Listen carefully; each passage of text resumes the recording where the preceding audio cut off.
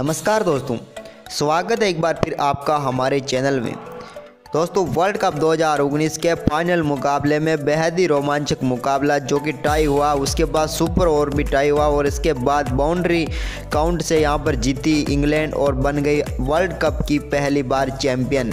चौवालीस साल के लंबे इंतज़ार के बाद आखिरकार क्रिकेट के जनक इंग्लैंड ने वर्ल्ड कप जीत ही लिया।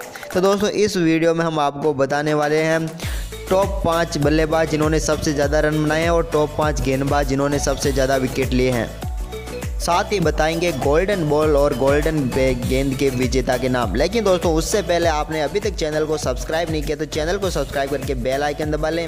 और दोस्तों, इस वीडियो को दिल से एक लाइक ज़रूर कर दें। तो दोस्तों, बात करते हैं यहाँ पर सबसे पहले गेंदबाजी की। तो इस साल गेंदबाजी भी काफ़ी दमदार हुई और गेंदबाजों ने अपना दम दिखाया है।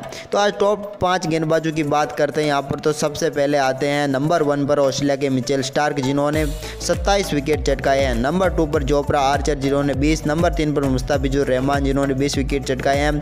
चार पर लोकी फर्गुसन जिन्होंने उन्नीस विकेट लिए हैं। वहीं पर नंबर पाँच पर जसप्रीत बुमराह आते हैं, जिन्होंने अट्ठारह विकेट लिए हैं। ऑस्ट्रेलिया के गेंदबाज की इस बार काफ़ी दमदार रही मिचेल स्टार्क के चलते और उन्होंने 27 विकेट चटकाए। वहीं पर इस लिस्ट में नंबर पाँच पर भारतीय टीम के जसप्रीत बुमराह ने भी बाजी मारी है। वहीं पर बात करें अब दोस्तों बल्लेबाजों की तो बल्लेबाजों की लिस्ट में रोहित शर्मा नंबर वन पर हैं। रोहित शर्मा ने गजब का खेल दिखाते हुए छः रन बनाए, जो कि सबसे ऊपर है। वहीं पर इनके पीछे डेविड वार्नर नंबर टू पर छः सौ साकिब अल तीन नंबर पर छः रन चार पर केन विलियमसन पाँच सौ अठहत्तर रन और पाँच पर जो रूट पाँच सौ छप्पन रन। रोहित शर्मा ने पाँच शतक जमा कर छः रन बनाए और वो यहाँ पर नंबर वन रन रहे। लेकिन उनके बिल्कुल पीछे एक रन पीछे रहे डेविड वार्नर, जो कि नंबर टू पर है। इन्होंने तीन शतक जमाए थे। वहीं पर दोस्तों, बात करें गोल्डन बैट की तो इस बार गोल्डन बैट जीता है केन विलियमसन ने, जिन्होंने शानदार प्रदर्शन करते हुए अपनी टीम को फाइनल तक लेकर गए, जिसके चलते इन्हें गोल्डन बेट दिया गया। वहीं पर बात करें गोल्डन गेंद की तो वो मिली है मिचेल स्टार की, जिन्होंने शानदार सत्ताईस विकेट चटकाए थे।